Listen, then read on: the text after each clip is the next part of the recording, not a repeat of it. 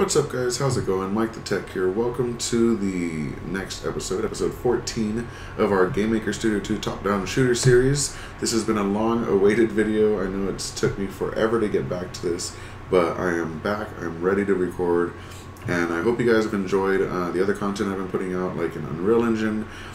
Um, I think those videos will continue to be released in this series as well, along with this one and with my Game Salad series. Um, I do want to start some new series as well, so if you have ideas, please let me know, as well as doing some speed level designs. Anyway, back to what we're doing today. We're adding thrusters using particle effects. So I know a lot of you guys have wanted to learn how to do particle effects, and you mentioned it during my explosions episode where I explain animations. Um, so I'm going to show you how to use particle effects to make thrusters. In the next episode, I'll show you how to upgrade our explosions um, with particle effects and actually make those explode as well. So the next two episodes are dedicated to particle effects. So we're in our uh, game, and let's go ahead and save this as um, episode 14. Alright, so let's go into our room. So let's go to rooms and double click on room zero. And look at this wonderful looking room. That's great. Okay, so we're missing our side wall here. So let's go to uh, reset layout. Open up our room again. There it is. I don't know why that went away. Anyway, um, on the left side, you should see uh, three different sections. We have our layers, our instance layer properties, and our properties. We're going to go into properties and go to creation code.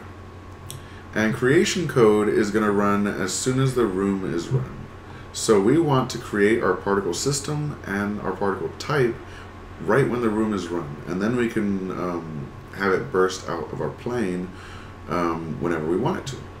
So on the right side, using drag and drop, we're going to scroll down and you'll see particles way at the bottom. And we want to create a particle system. And uh, we want a persistent particle system that's running all the time and we're going to call this global because we want it accessible to everywhere. And we're going to call this um, P system. Global P system. All right so now we need to create a particle type. And we're going to call this global thrusters. Actually global dot p thrusters. Particle thrusters just so we know that it's a particle all right, so now we have a particle system and a particle type. So we need to start um, adding all these cool little effects to it. So let's start with particle size. So we want to copy and paste our particle type, which is global.p thrusters, and paste it where it has type here. And we'll say, um, I already have some ideas here. So particle size from 0.2 to 0.4. And then we also have an increase and a wiggle, which we won't do in this one. Uh, the next one that we can do is set particle shape. We're not going to use a sprite because I don't have a sprite for this, but um, particle systems do have their own set of built-in sprites and shapes. So we'll drag in particle shape.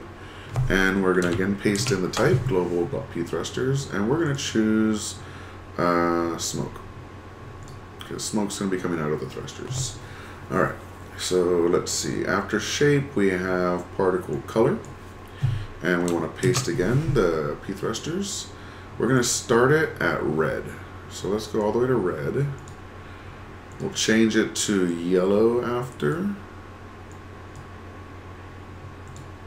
And then we'll have it at white after that. So that's cool. So it'll start at red, then yellow, then white. All right, what's next?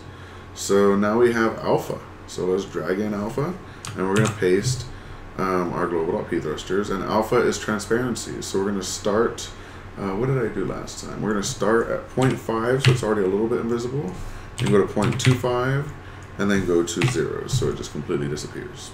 Cool. Uh, now we're going to set particle life and this is going to be the frames that it lasts. So we're going to say it can last between um, 30, which is about half a second, and 90, which is a second and a half if you're running at 60 frames a second. All right, so after that, we have particle speed. So particle speed, um, we're going to set to minimum speed 1 is fine, but we want some to fly out a little faster, so we'll say max speed 4. And um, we can leave that as is. And then after speed, what's here? Direction. All right, so direction is a little bit interesting because we want the direction to kind of go downwards. So um, we're going to do between uh, 260 and 280 because 270 is completely down, so we're giving it like 10 degrees to the left and 10 degrees to the right. And then um, we can also give it a little bit of a wiggle. So we'll give it 10 as a wiggle so it can kind of jump even a little bit more between that. Uh, so after direction, we have orientation. We don't need that. Gravity, no. Secondary particles, nope, nope, nope, nope, nope, nope. So I think we're done. So we have um, a particle now that changes in size, has a smoke shape, changes in color from red to yellow to white, uh, starts to disappear over its lifetime and lasts a random lifetime between half a second and a second and a half. It has a, a random speed and it has a direction of downwards. So now we have a really cool thruster um, particle system. But how do we make it work? So let's go into our object and go to Object Player. And let's go ahead and go to the step event because we want this happening all the time. And at this top of the step event, we're going to go down to particles, and we're going to use burst particles. Now, the system we're going to use is global.psystem, and the type is going to be global.pthrusters. And we're going to set this relative both ways. Uh, how many did I set the count to? We'll leave it at, we'll set the count to 50. Now, if we hit play, it's not quite going to be done yet because um, it's going to be centered on our plane. We're going to have to mess with the y-axis to push it down a little bit, but let's just see what happens. So let's hit play, make sure everything works and I don't get any errors here. Great, and now we have a really cool already looking effect. It's just a little bit too high. Um, so we have some cool particle effects flying everywhere and it follows our plane. Uh, so let's close this. And let's say uh, 30. And I play. It might have to be negative 30. I don't remember. No, that looks good. It pushed it down. So good. Now it's coming out the back of our plane. And I think it's starting to look pretty cool. We can even add these types of effects to our enemies if we wanted to. And um, give them a trail behind them uh, just to make it look interesting. But um, obviously, there's a lot of possibilities for this thruster style effect. Um, in the next episode, we're going to make a uh, explosion effect. Besides our cheap little animation explosion, we're going to use real particles just like our thruster, and um, we'll see how that looks. All right.